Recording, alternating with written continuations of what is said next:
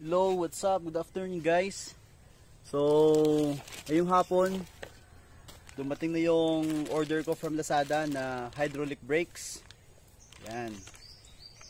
So, ang brand nito guys is Disland. So, ito.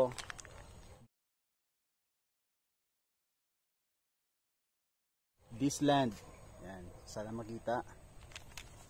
At kompleto na siya guys. So, may rear tsaka front. So ang presyo nito guys, nabili ko ito sa Lazada ng sa halagang 1,535. So dalawa na, rear tsaka front.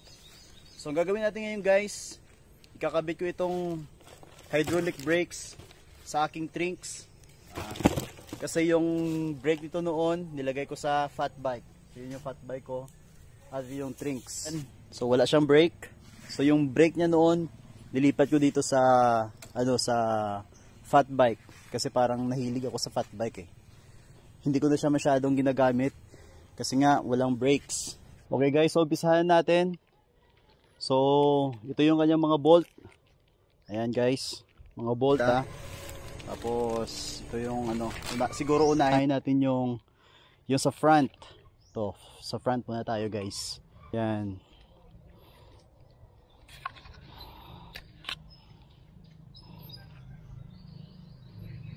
Yan. So tanggalin na natin to guys. Yan. Yan. So higpitan natin na ang screw ng alin pala. So baliktad pala. Pero, pero siguro pwede rin itong i-transfer. Ito.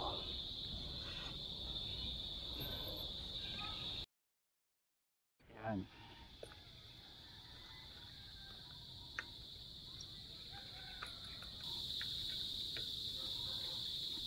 Yan guys.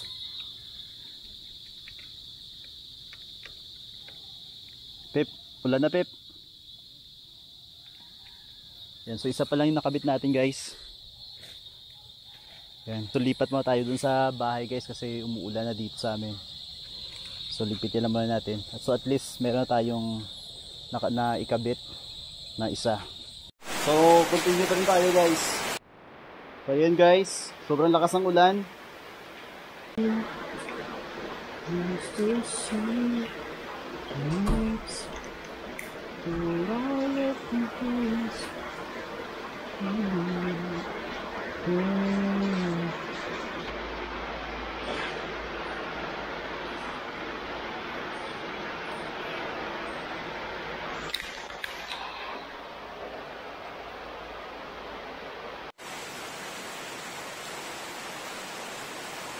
So yun guys. Mm. Yan. Yan, tamang-tama lang. Walang sabit. Yes. So ngayon magkikable tie na tayo. Yan. Mali.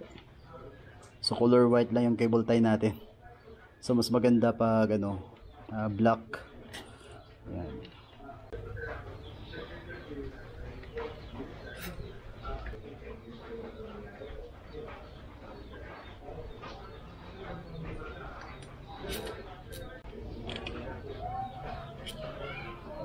Yan guys.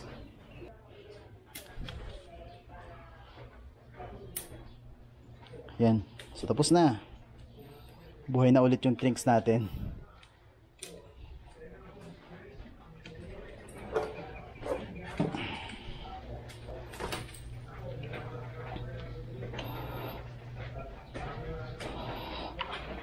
Subukan natin guys.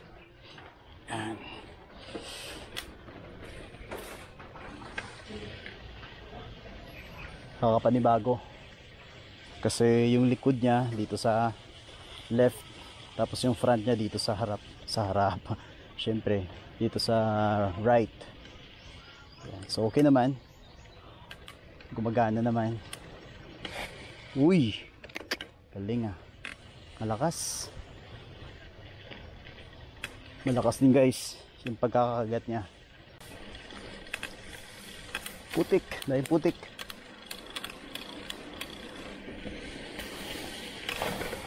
Ah, panalo guys.